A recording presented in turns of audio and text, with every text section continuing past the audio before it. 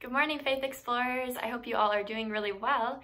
It was awesome to see some of you at our movie night last night. We have a couple more events coming up in April and May, so I hope to see all of you soon. So for today's lesson, we are continuing our lectionary series that we started last week, and so we're reading a new story every day um, that corresponds to the story of the church year. And before we get into our story, we are going to sing our Song of the Month with Alicia. So go ahead and sing that song along with her here. Hello, Faith Explorers. My name is Miss Alicia, and we are going to get ready to sing this morning. This song is called Let It Rise. Um, I'm so excited to sing it with you, so I encourage you once you uh, learn parts of the song or, or learn a little bit, you can start humming and singing along with me, okay? Let it rise.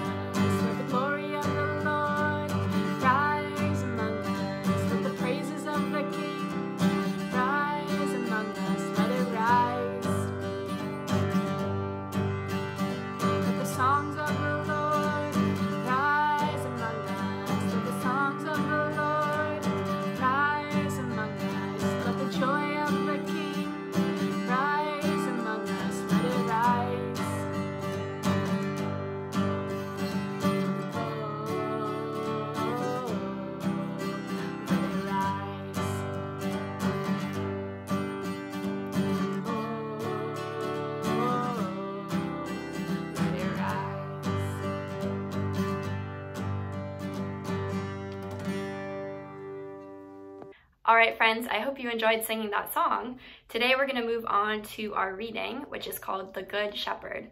Now, if you have your Spark Bible at home, go ahead and pull that out. We are on page 436, and it looks like this.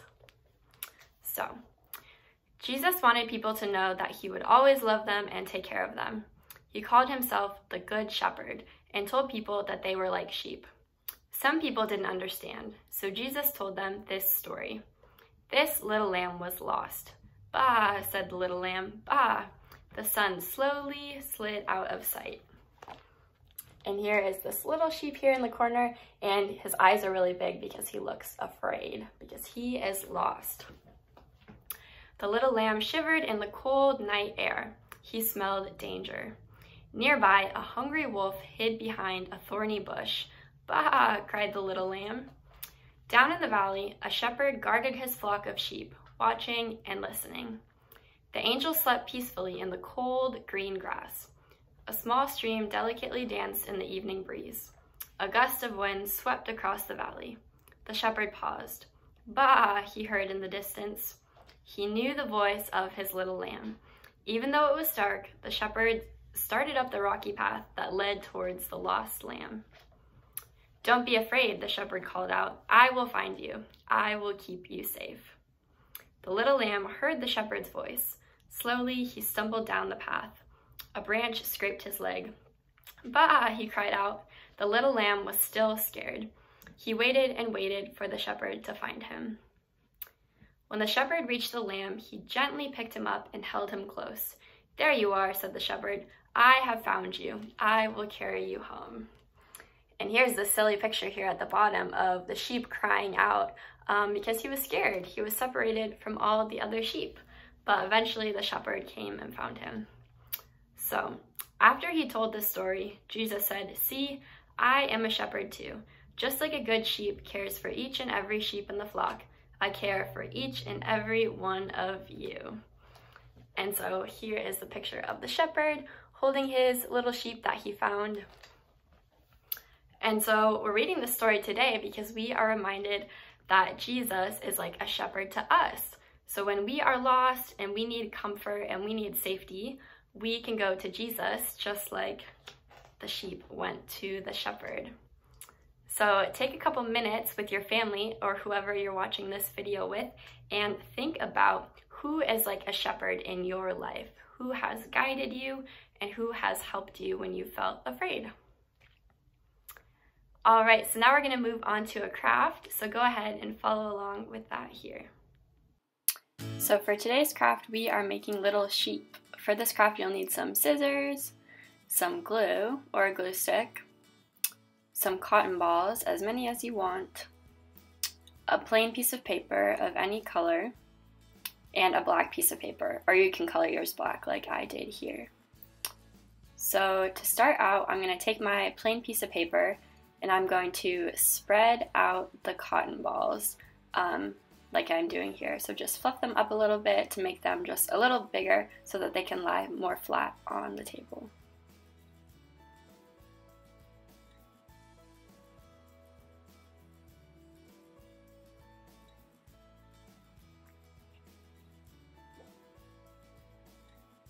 And after you've fluffed all of them up, you are going to take your glue and glue them all down in a big circle on your piece of paper.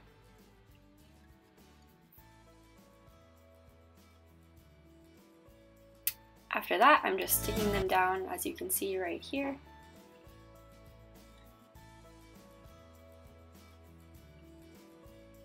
And make sure you have enough glue so that they will stick.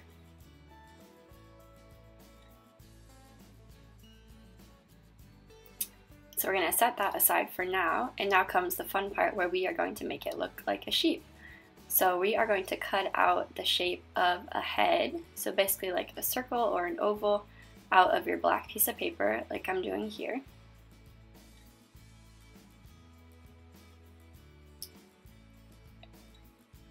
And then after that, you're going to cut two little ovals to be the ears.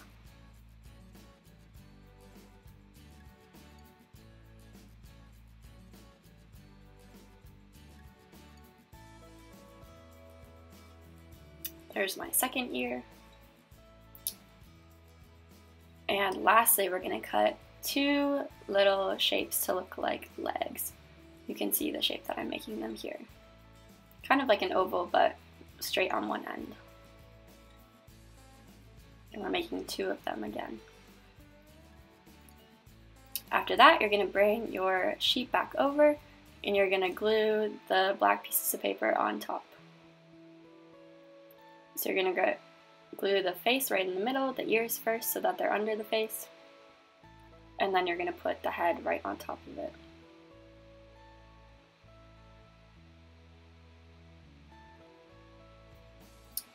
And lastly, then you're going to grab your two legs and you're going to glue them right down at the bottom. And if you have some googly eyes, you can add those to your sheep or draw them, but I didn't have any. And there's your sheep. All right, Faith Explorers, I hope you enjoyed that craft. We are going to end with our word of prayer, and as usual, go ahead and check our two virtual boards, our celebration board and our prayer request board, and see what people are up to and see how we can pray for members of our community. And so as always, I'm gonna put my hands up in the middle and you're gonna feel free to share um, whatever you would like to pray for during this time. So please pray for me. Awesome God, thank you for gathering us again today to learn another lesson. Today we learned that Jesus is like a shepherd to us, and when we are feeling lost, we can lean on Jesus to find us and lead us in the right direction. God, we also know that there are a lot of things going on in the world right now, and a lot of things that we would like to pray for. God, we would like to pray for these things today.